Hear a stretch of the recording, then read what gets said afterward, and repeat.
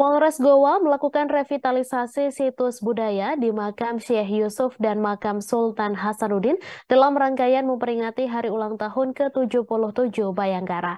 Kapolda Sulawesi Selatan Irjen Pol Setio Budi Mumpuni Harso pun berkunjung ke dua lokasi tersebut untuk meninjau revitalisasi situs budaya tersebut pada Kamis 22 Juni.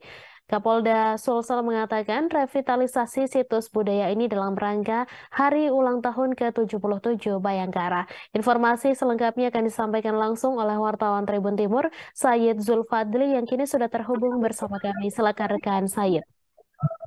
Ya, terima kasih. Uh, di mana uh, Polres Goa sebelumnya telah melakukan uh, revitalisasi situs budaya di dua makam uh, pahlawan nasional yakni uh, Syekh Yusuf dan Sultan Hasanuddin.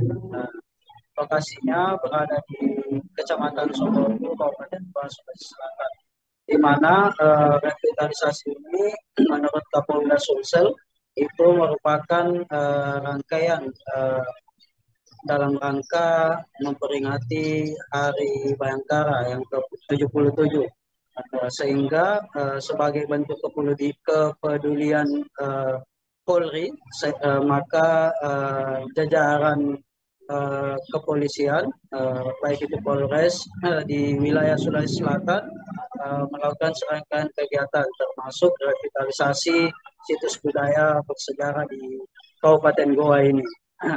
dan uh, revitalisasinya uh, berupa cat uh, dan beberapa uh, tembok-tembok yang mulai pudar catnya di, uh, kembali dicat ulang oleh personil Polres uh, Goa. Uh, selain itu, uh, Kapolda Sulsel juga saat meninjau kedua lokasi tersebut uh, membagikan sembako kepada uh, warga sekitar yang kurang mampu. Selain itu, uh, pihaknya juga memberikan bantuan uh, kursi dan uh, uh, tempat sampah uh, di dua lokasi tersebut. Demikian saya kembalikan ke studio. Baik, terima kasih rekan Sayid atas laporan Anda dan Tribunar wartawan kami juga telah menghimpun wawancara dengan Kapolda Sulsel berikut tayangannya untuk Anda. Hari ini Polda Sulsel melaksanakan uh, agenda terkait dengan rangkaian kegiatan Hari Bayangkara ke-77. Salah satunya ada adalah revitalisasi budaya dan agama. Hari ini kita berada di makam Sultan Hasanuddin. Ini merupakan salah satu jagat budaya yang harus diketahui oleh masyarakat.